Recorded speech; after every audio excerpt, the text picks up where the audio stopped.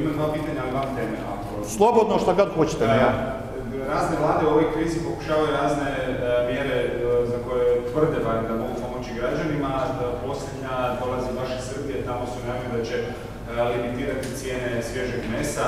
Ima li smisla nešto tako ili to može zaprijetiti samo u konačnici nestašicama s obzirom na to da predstavlja onda udar na proizvođače? Treba li nešto tako i ovdje Treba, gospodine Novokmet, treba. Kad sam išao po ove formulare u Slavoniju, u Slavoniji je rodio suncokret, ja mislim kao nikada do sada. Stvarno je rodio suncokret. Recite mi zašto je litra ulja koja je bila 10 kuna do prije 4 mjeseca, sada 21 kunu, ja sam ga išao kupiti prije dva dana. Prema tome, recite mi, Hrvatska proizvodi, znači sad i suncokret, ima ga dovoljno, imamo uljare koje ga prerađuju, da je taj, jer sam uzeo sam jedan artikl, suncokret koji je jako bitan za ljude, za svakodnevnu potrebu.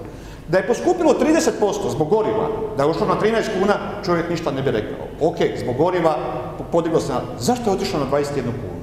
Ja mislim da Hrvatska mora vlada donijeti da bi ljudi preživjeli jesen, zimu, kad krene grijanje, bar 5-6 artikala koji su najosnovniji, a to je brašno koje Hrvatska proizvodi ima za izvoz žita.